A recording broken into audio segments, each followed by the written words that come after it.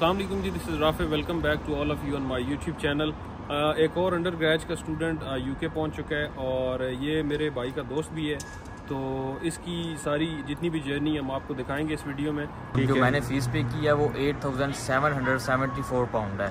ठीक है। वो बाकी दो साल है रिमेनिंग टू ईयर्स है उसके अंदर मैंने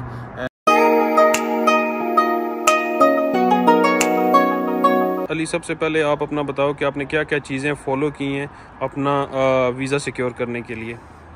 जी अस्सलाम वालेकुम सबसे पहला मेरा नाम अली अजमल हसन है। मैं गुजरात से बिलोंग करता हूँ। मैंने अपना सारा process H R consultancy Lahore से करवाया है। जी, सबसे पहले आपको बैचलर की डिग्री चूज़ करने से पहले आपको ये चीज़ें जहन नशीन कर लेनी चाहिए। आपको सबसे पहले ना अपने जिस भी जिस भी कंसल्टेंट्स के थ्रू करवाना है उससे बोलें कि आपके ना वो तीन चार यूनिवर्सिटीज़ के अंदर बैकअप ऑप्शन रखे अगर एक यूनिवर्सिटी हम्म। आपको नहीं भी कैश के अंदर क्लियर करती तो आप ना दो यूनिवर्सिटीज़ के अंदर या तीन यूनिवर्सिटीज़ के अंदर ना आपके पास ऑप्शन होना चाहिए इसके अलावा आपको जो आपकी डॉक्यूमेंटेशन है वो आपने टाइमली सारी तैयार करके रख लेनी है फिर उसके अलावा आपने कोशिश यही करनी है कि फेक डॉक्यूमेंट से बचना है हम्म। क्योंकि आजकल आपको पता है अम्बेसी बहुत ज़्यादा ना वेरिफिकेशन वेरिफिकेशन कर रही है वो बहुत ज़्यादा सोशल जो टीम है उसकी वो बहुत ज़्यादा एक्टिव है एक्टिव है वो हम्म। देख रही है स्टूडेंट्स को नंबर थ्री आपने यही देखना है जो जो कोर्स आपने चूज़ किया है वो असाइनमेंट बेस्ड होना चाहिए बाद हम्म। जो ना कंसल्टेंट्स आपको बताते ही नहीं है कि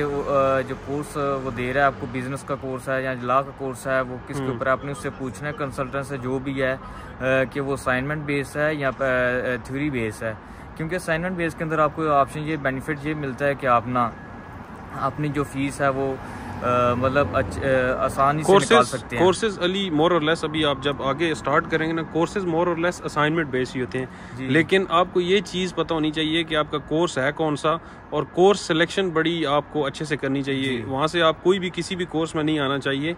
ये चीज़ मुझे एक समझ आई है। चलिए आप दूसरी चीज़ जो मुझे बता रहे थे वो आर्ट्स के रिलेटेड थी कि आप आ, आपका एक साल इस प्रोसेस में ज़ाया हुआ है तकरीबन। तो वो क्या आप ऑडियंस को सारी चीज़ें अच्छे से डिस्क्लोज करें कि क्या प्रॉब्लम थी अच्छा भाईजान पहले तो ऑडियंस को ये बात जे नशीन कर लेनी चाहिए कि जो विदाउट आइल्स वाला होता है वो सारा स्कैम है बाज़ यूनिवर्सिटीज़ करती भी हैं मगर जो बैचलर्स के स्टूडेंट्स हैं वो ज़्यादातर यही करती हैं कि स्टूडेंट्स ना वो आइल्स की रिक्वायरमेंट आइल्स कंडीशन लगा के भेजती हैं मास्टर्स के अंदर ऑप्शन बन जाता है तो आइल्स सॉरी बैचलर्स के अंदर ऑप्शन नहीं है हम्म।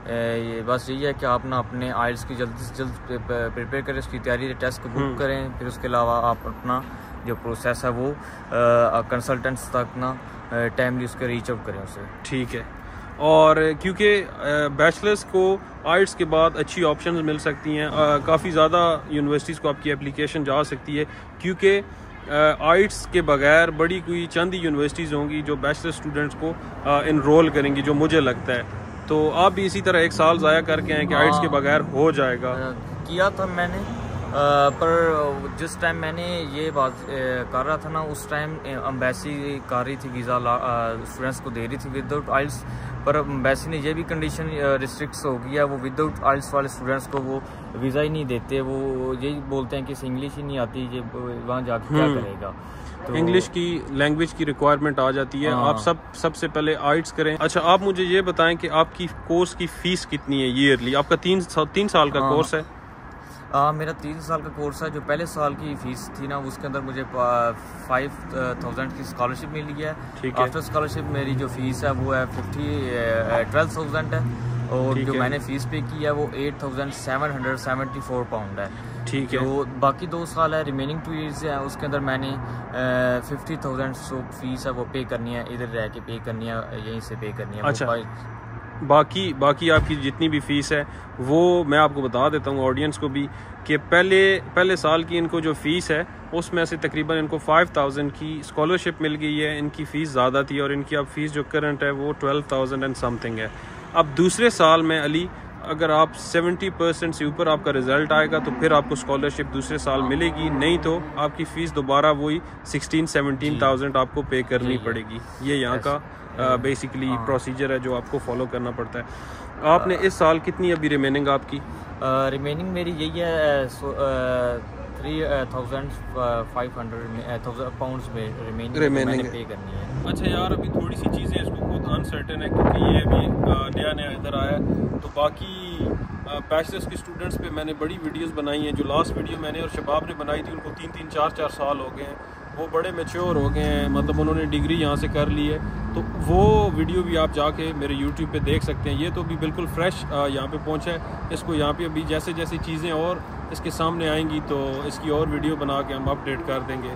तो अगर वीडियो पसंद आए तो शेयर करें लाइक करें और चैनल को सब्सक्राइब कर दें। इस तरह की वीडियोज़ मेरे चैनल पर आती रहेंगी। नेक्स्ट वीडियो में मिलेंगे। अल्लाह हाफिज़।